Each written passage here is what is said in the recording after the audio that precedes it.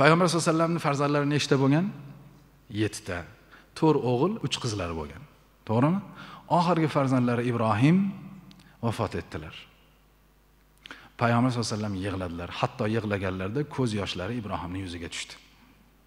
Shunda yonida turgan sahobalar ya rasululloh siz yig'lamang deysiz lekin o'zingiz yig'layapsiz-ku. Shunda rasululloh nima dedilar? Innal ayna tadma'u val qalba tahzan ko'z yig'laydi yig'lash uchun yaratilgan. Men yig'lamanglar deyishimdan murod Allohning qadariga norozi bo'lib yig'lamanglar deyman. Yig'lamagan ko'z u yomon ko'z u. Va qalb esa shunday bir ne'matki u albatta xafa bo'ladi yo xursand bo'ladi.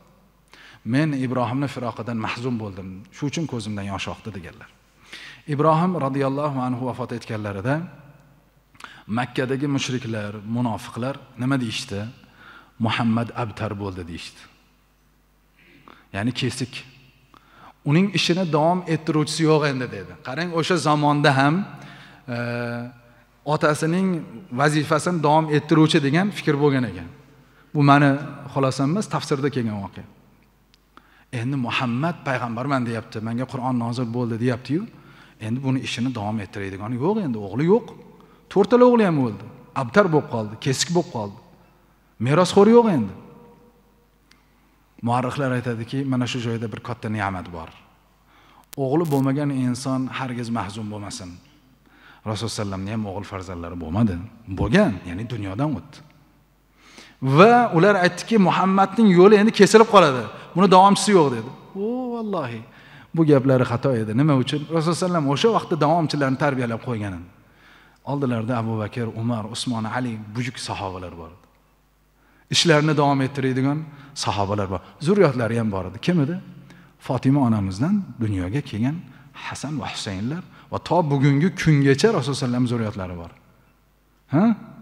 Ha? E, nima deymiz? Xo'jalar sayyidlar eshonlar to'ralar deymiz? Har xil aytiladi. Shajarasi bor. Rasululloh alayhivasallamning zurriyoti bo'lgan insonlar hali hamon dunyoning turli xil chetlarida yashashadi.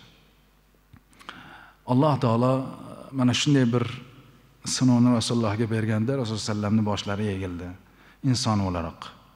Bir kuni o'tirganlarida anas ibn malik roziyallohu anhu aytadilarki rasulullohning boshlari egik edi.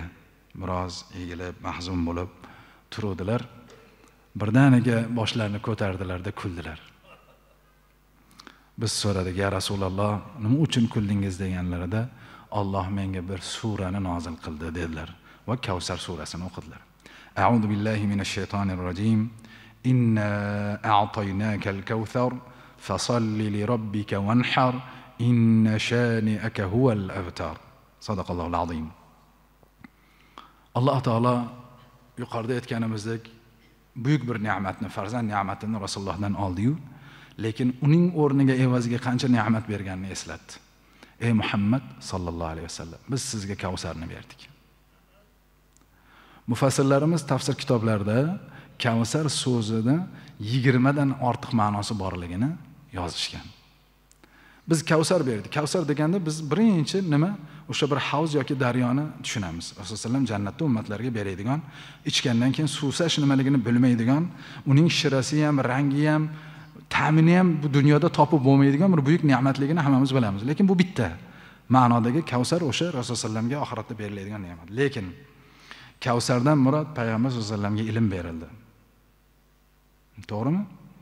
Payg'ambar alayhivasallam ummiy bo'lganlar yozishni ham chizishni ham bilmaganlar o'qishni ham bilmaganlar.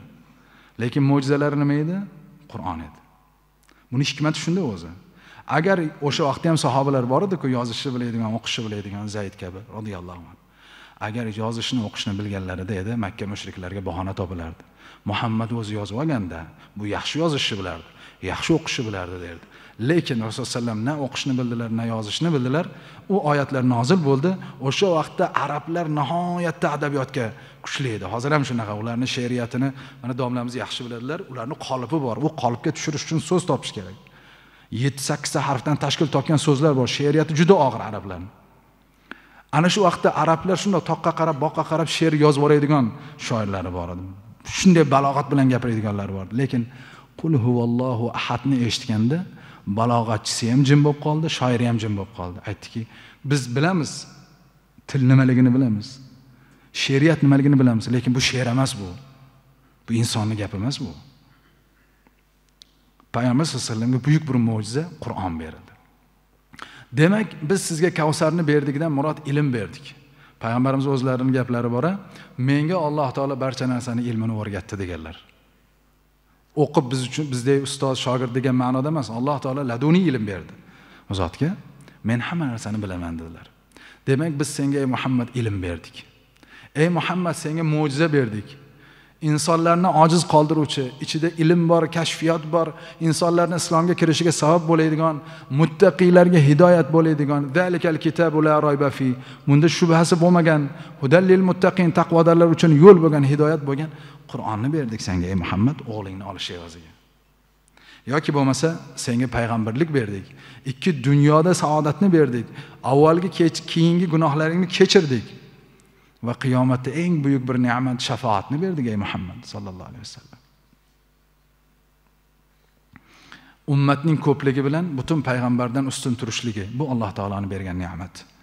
Dushmanlar ustidan g'olib kelishliklari va hokazo. Mufassirlarimiz yigirmaga yaqin ne'matni kavsarni ichiga kiritib alloh taolo muhammadga aytdi ya rasululloh biz seni ibrohimingni oldik farzandlaringni oldiku lekin senga shu qadar ne'matni berdik. Shunda payg'ambar sallallohu alayhi vasallam nima qildilar? Kuldilar.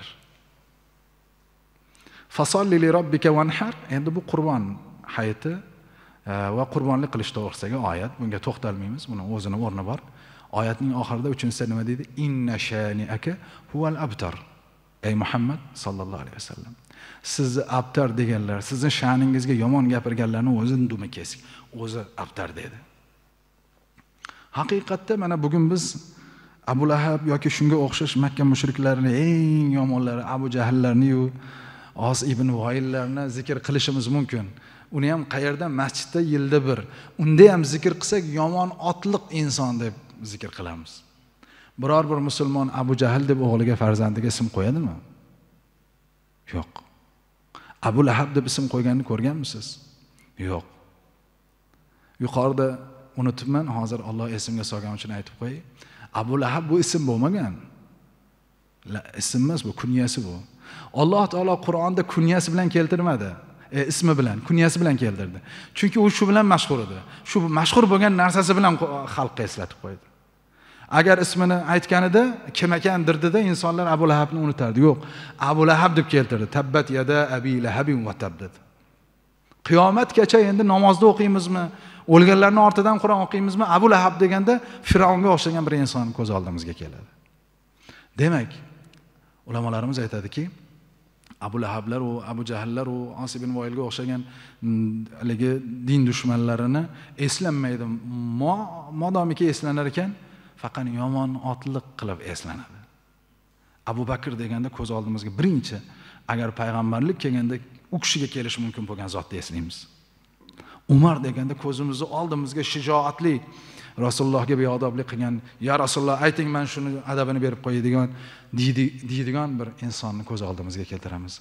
Hazrati usmon roziyallohu anhu to'g'risida gapirganda nihoyatda halim bir insonni. Hazrati ali roziyallohu anhu deganda nihoyatda obid bir olim insonni ko'z oldimizga keltiramiz. Demak inna aka huval abtar. Ey muhammad sallallohu alayhi vasallam sizga yomon gaplarni gapirib qalbingizni ranjitib abtar deguvchilarni o'zi abtar dedi. Hammasi qurib yo'q bo'lib ketdi.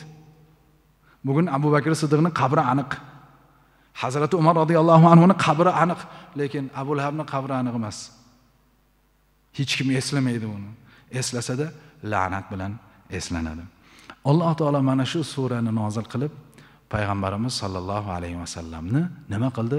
Go'yoki ovutdi xursand qildi. Va rasululloh alayhi bu xursandchiliklarni sahobalarga oshkor qilib kuldilar. Alloh taolo menga mana shunday oyatni nozil qildi deb.